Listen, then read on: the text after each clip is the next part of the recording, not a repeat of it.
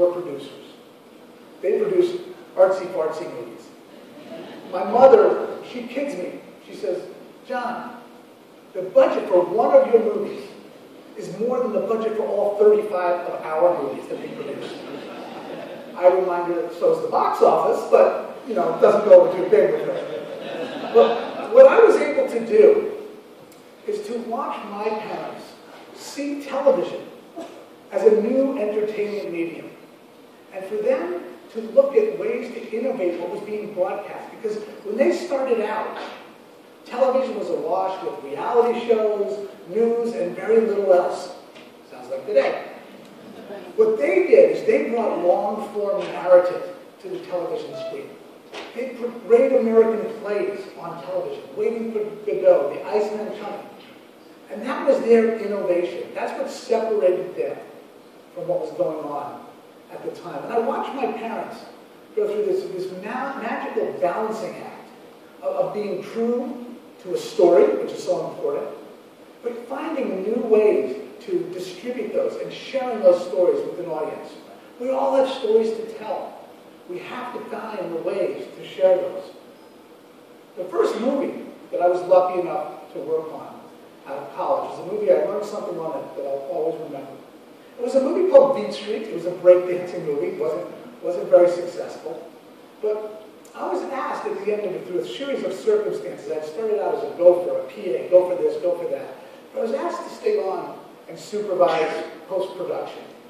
Now, I knew nothing about post-production. I didn't tell them that. But I did. I, I stayed on. And in the middle of it, we had a, a date that we had to hit to make the film screen at the Cannes Film Festival. And our music editor came to me. And the music editor said to me, Jon, we're not going to make our delivery date. Now, I was all of 23, maybe 24 years old at the time, so I knew exactly what to do. And I said, come on, we'll go tell the producer. And we watched, marched into the producer's office, David Picker, and I said, David, Tom here tells me we're not going to make our delivery date. Well, David didn't get upset. Looked at me very matter-of-factly, and he said, Jon, I paid the two of you to tell me how things can get done, not that they can't get done. And he walked out. And you know what? We made our delivery date. And I cannot tell you how many times that I have thought about that story on, on films that I later produced in my career, especially on Titanic, where the task in front of us at so many different times seemed unsurpassable. But Titanic was an opportunity for us to wrap an audience in a tragic love story that had a, a thematic tale and actually a moral tale for the turn of the century. That technology and, and technological brilliance alone is not the answer. To accommodate the needs of the production, we, we scoured the world. We looked around the world, where could we make this movie? So we finally found a place in Rosarito, Mexico, the least likeliest of places to film a movie called Titanic. But it was on the ocean, it was 40 acres of barren land, and we decided that we would build a tank there. And we would build our set within that tank. And we would then use technology to bring the ship to life. But first what we had to do was we had to build the ship itself. I want to share with you a time-lapse video of the ship being built for Titanic. If we could run the first clip, please.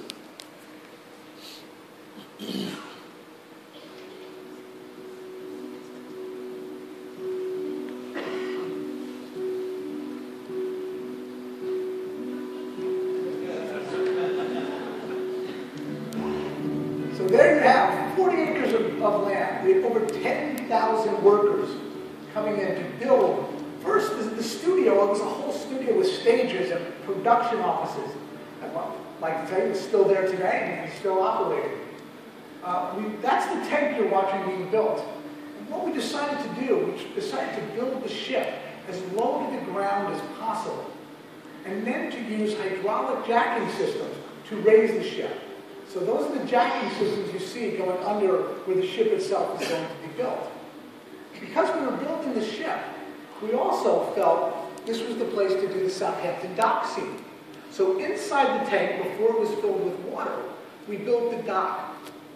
We faced the ship into the prevailing winds, which I'll, I'll show you later on. But we also only finished one side of the ship because we had the ocean on the other side. We could never shoot the other way. And throughout the movie, we were continually flopping the film to create the illusion of the look on the other side. So sometimes technology is not always the answer. You go back to the old-fashioned tricks, tricks of the trade.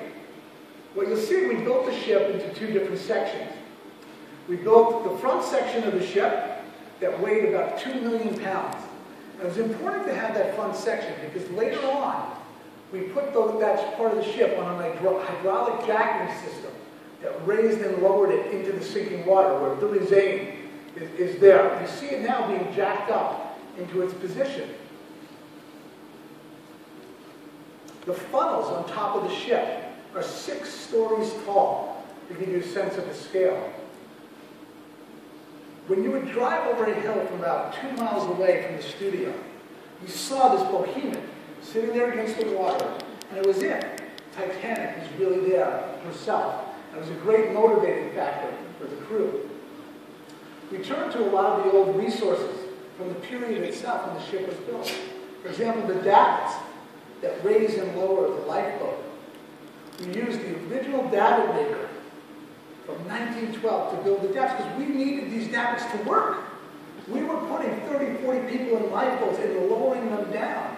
And we had to do it repeatedly and we had to do it safely. Safety was always our first concern. Turned into a 24-hour a day operation.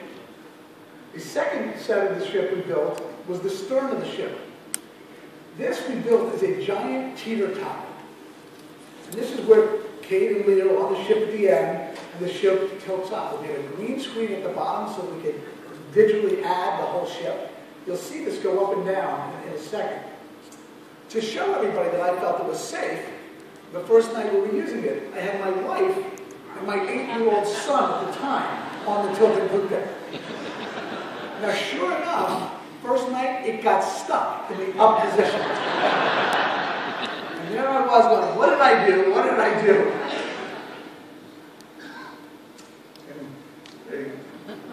There you, go.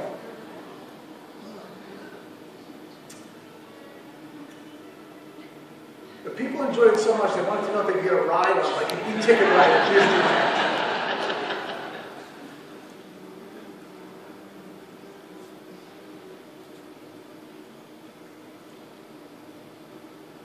And literally, the day all that and the ship was finished, the next day we were filming on it. That's how close it came to our making that. So a little clip of Titanic.